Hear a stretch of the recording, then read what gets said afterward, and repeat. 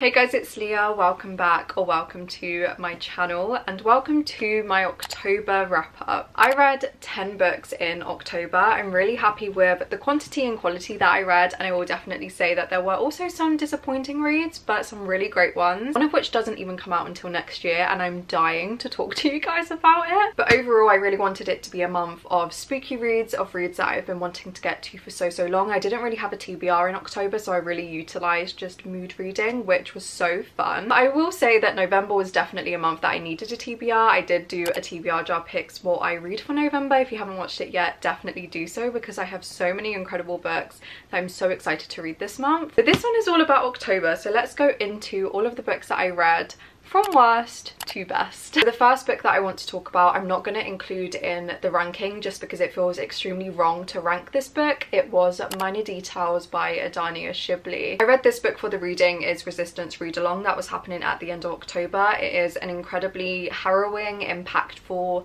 powerful account and book dedicated and about the genocide in Gaza. This book is written by Adania Shibli who is a Palestinian author. This year she was set to win an award at the Frankfurt Book Fair for Minor Details but because of everything that's happening currently in Gaza. It was revoked, which is absolutely abhorrent. So that is the reason as to why the Reading for Resistance read along started. So I did read it for that. The book was incredibly impactful and hard to read. It definitely included a lot of heavy subject matter. So I would definitely say check trigger warnings before you go into this book. But saying that, it is one that I would also absolutely urge you to read if you can because it is just so important to read about what is happening in Gaza and Palestine from Palestinian voices voices. Adania Shibli's writing style and storytelling too was incredibly raw and so, so beautiful. Her writing style was astonishing. It was such an incredible book, but so hard to read. And I'm so happy that I did read it. And again, it is one that I would definitely recommend to read if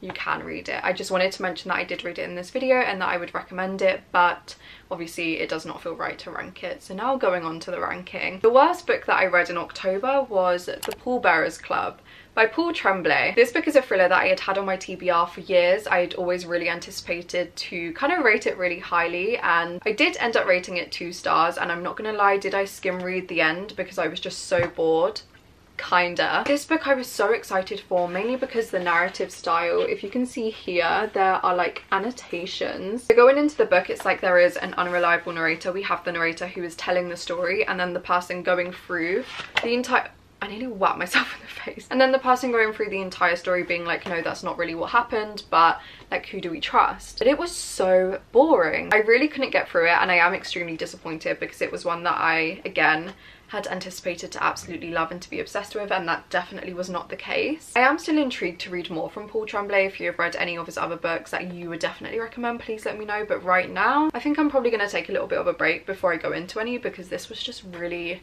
not for me. I cannot tell you a single thing that happened in this book. The second worst book that I read in October, which actually hurts my heart to say, was Poems from the Book of Hours by Rainer Maria Rilke. Rainer Maria Rilke is my all-time favourite poet, so to say that one of his collections is this low on a ranking really hurts my heart, but this one just really was not for me. This book is often referenced as love letters to God, so it is solely religious poetry, and I am not a religious person. I love reading about religious commentary in books and in poems, but I don't really read or reach for anything that that is solely religious because I can never really relate to it and this one is what that kind of was. If I had known that prior, I don't know if I would have picked it up when I did, but saying that, I definitely want to read every single thing Rainer Maria Rilke wrote and all of his collections, so I'm still happy that I read it, even though it definitely was not for me and was absolutely a little bit of a disappointment. Yeah, I didn't even underline any of the quotes or the poems, nothing really stood out to me, so I'm to move along this quick because this one really broke my heart. I ended up rating like three stars. We then had my second poetry collection of the month and that was Divisible by Itself and One by Kae Tempest. This one was very kindly sent to me by Books Are My Bag. This one is shortlisted for the poetry category for the Books Are My Bag Reader Awards this year and I definitely liked this but it was another collection that didn't really hit me personally although it was incredibly beautiful. A lot of these poems were so visual and beautiful. This one really focuses on gender identity and sexuality which I loved reading about so much. Your opinion just often reflects how much you can relate to a collection or how much you just enjoyed it and this one for me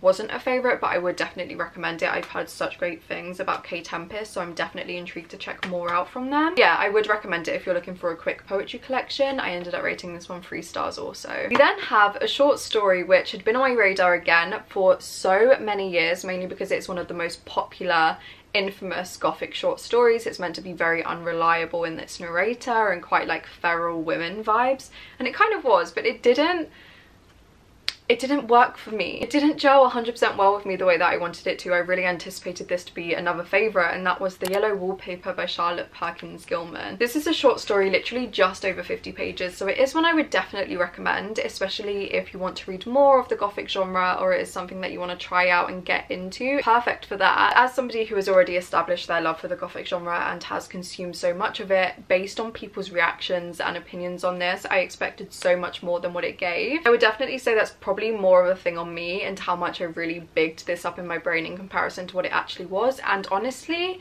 like it's only 50 pages so there is only so much that it can do. In such a short form but I do actually have an entire collection. Where is it? I do have an entire collection of short stories by Charlotte Perkins Gilman which is obviously a lot bigger than that. So I'm intrigued to see what else she has written and see if I gel well more with those. But I think the yellow wallpaper as a standalone piece of short fiction I did really enjoy it but I think I bigged it up a little bit too much in my brain so I would recommend it. I ended up rating it I think three, three and a half stars. We then had an actual novel and this one was a fantasy book that I had heard the most rave review things about this year. I have seen a multitude of people I trust and just people in general rating it five stars. So going into it I had fully anticipated to again another book that I yet again thought I was going to rate five stars and didn't was unfortunately Legends and Lattes by Travis Baldree. This for me it was just such an incredibly cozy fantasy. The stakes are so low and that is what I heard the most people praise about this book and I definitely agree that it was all of that and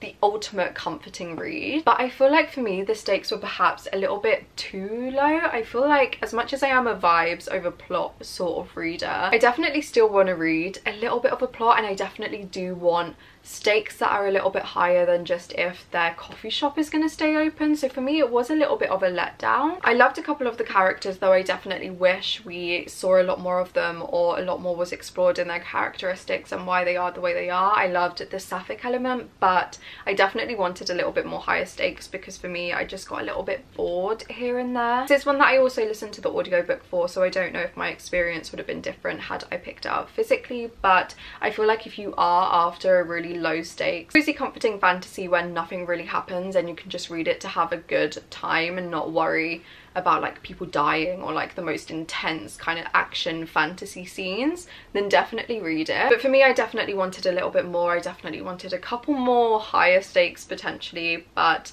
yeah I really liked it. The cafe cozy like autumnal wintry foresty vibes were there. But it's a book that definitely I feel wasn't 100% for me though I am still intrigued to check out the sequel. I do have the audiobook for that so I might read it soon.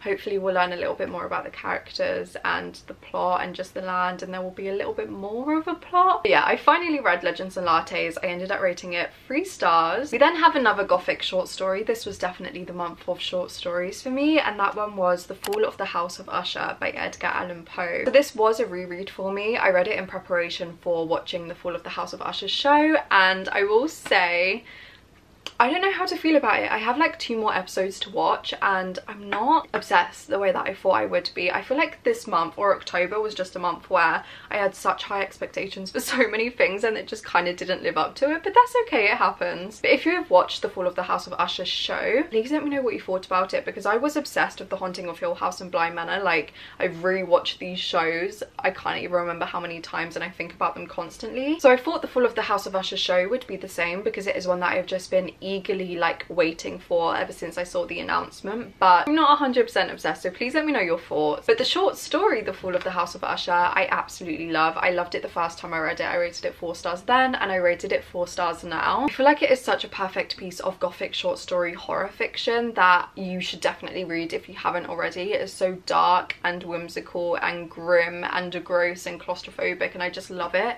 so much. Just under 100 pages. I read it in one sitting and yeah, if you haven't read it before, I would definitely recommend you to. I feel like again, it's another one that if you are looking to get into gothic literature or even gothic classics, and you're a little bit intimidated, it is a great one to start with. And honestly, it was just so nice to return to something that I've read before that I absolutely adored and revisiting it was a joy. So I'm very happy I did that in October and that was four stars. Then we have an entire collection of short stories. As somebody who never really reads short stories, I don't really know what overcame me in October, but I'm also so happy about it. And it was her body and other parties by carmen maria machado. Carmen maria machado wrote in the dream house which is my all-time favorite memoir such an incredible impactful just powerful read that again is one that i would recommend. But this is her other published work and it is a collection of short stories and i really really loved it. So many of these were so speculative and gothic in their horror and really spoke about girlhood and the unfortunate experiences sometimes of womanhood, of being queer, and it was just so incredible. I will say, obviously, naturally with short story collections, there were a lot of short stories that impacted me a lot more than others, but it was such a beautiful and powerful read. Carmen Maria Machado's writing will never fail to astound me, and honestly, when finishing it, I couldn't stop thinking about what she is going to do next. I feel like she is an author that will probably stand the test of time, and people will constantly return to her works because they are so incredible. There is just something about the way she writes writes non-fiction and fiction that is so unique and unlike anybody else who is writing currently and that is what I love so much. Mixed with the fact that it is always constantly circling back to being queer and girlhood and just those experiences and how sometimes they are so great but also do come with a lot unfortunately of bad experiences and I just loved it so much. This is another one that I ended up rating four stars. It definitely could have been a five, but like I said, there were definitely short stories in this that I didn't like as much as others, so I settled for a four. And then the last physical book that I read in October and the second best book that I read was Rouge by Mona Awad. This book was my most anticipated book of the year, and I will definitely say, although I loved this so much and it was definitely the second best book that I read in October, I did want a little bit more from it. I did speak a lot more about it in my most recent vlog which I will link up above if you haven't seen it yet but this book as much as I adored it it was not my favourite Mona Awad. Mona Awad is one of my all-time favourite authors. She wrote Bunny and All's Well, two of my all-time favourite books that I'm constantly recommending and raving about. I did kind of expect this to be on that same level. Unfortunately for me it wasn't. I do think that the second half was a lot stronger than the first in my personal opinion. But I will say that I definitely had a weird experience reading this. This took me so much longer to read than books tend to normally do. So much so that for the second half I did decide to pick up the audiobook instead instead of reading it physically and I definitely think that that was the best thing for me to do. And I do want to stress that I do think it was more myself and I think on a reread because I definitely do want to return back to this book at some point. I will love it more the second time round because I just feel like I picked it up at the wrong time. But I love so much about this book. I loved the commentary surrounding girlhood and relationships between mothers and daughters and how often they can be so complicated and difficult and raw. I also love the commentary on the beauty industry and beauty standards on girls and women in society in general. I thought that that was really impactful. I loved reading about like the culty element. I found it so fascinating and so interesting and I feel like it begged for such a thrilling reading experience and that I think for the second half of the book really really took me by surprise and I loved it so much because of that element. It was definitely a slow burner and one that I would recommend if you love Mona Awad or actually equally even if you haven't read anything from her before because you won't have the expectation of Bunny and All's Well in your head you might like it even more. But unfortunately it didn't live up on the scale that I thought it would with All's Well and Bunny. But I'm also incredibly aware that for me that is such a high scale and such a hard thing to beat. So it was probably my own expectations. I loved this. I rated it four stars. And then the best book that I read in October is actually a proof copy of a book. So I don't actually own the book. I read it on NetGalley and it is a book that comes out in the middle of February next year. So there is still quite some time to wait for it, but not too long. And I promise you, it is absolutely worth the wait. And that is An Education in Malice by S.T. Gibson. I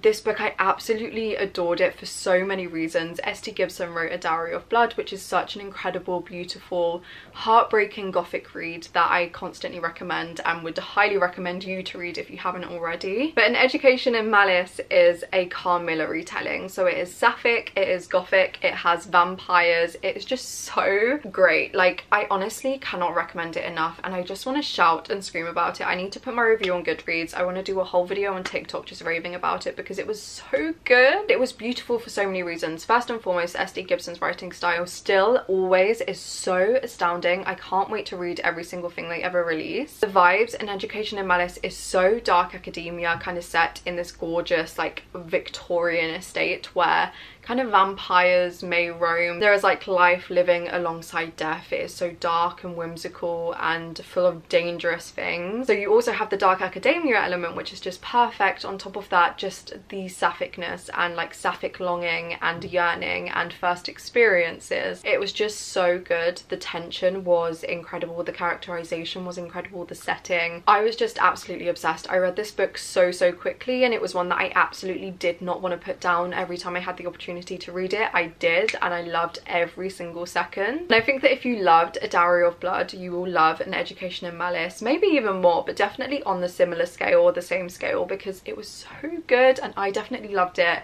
Maybe not just as much as A Dowry of Blood because that book has a very special place in my heart, but it was close it's definitely on that level. For me this book was very close to perfect. There were a couple of things with the ending. I didn't 100% adore how it ended. I feel like it was a little tiny bit rushed and i definitely would have loved to see it a little bit more like extended and drawn out but the book as a whole i rated 4.75 i did round it up to a five star. It's such an incredible read and yeah I cannot wait to see people's reviews on it because I feel like everyone's going to love it. I feel like it's going to be one of the biggest books released next year and I cannot wait. But yeah, An Education in Malice was the best book that I read in October. It was just so good. So yeah, those were the 10 books that I read in October. I feel like I had a really good reading month. Definitely had some disappointments, but I'm trying not to focus on them and to just focus on all of the positives, especially because I feel like November, dare I say it, is going to be even better and is already even better because I'm currently reading one book. I already cannot wait to film my November wrap up. I'm so excited. But yeah, if you have read any of the books that I read in November and you enjoyed them or you disliked them, please feel free to leave your thoughts. I would love to know what you thought about them all. And also feel free to let me know what your favourite book of October was. And yeah, as always, if you are not subscribed and you enjoyed this video and you would like to see more content from me, it would mean so much to have you here. I have so many exciting, spooky, festive content coming that I cannot wait for you to see. And also don't forget to leave a massive thumbs up if you did enjoy. It means so much to me and it really does help me out. And yeah, thank you so much for watching and for being here and for spending some time with me. I hope you enjoyed and I will see you again very soon with another video. Thank you.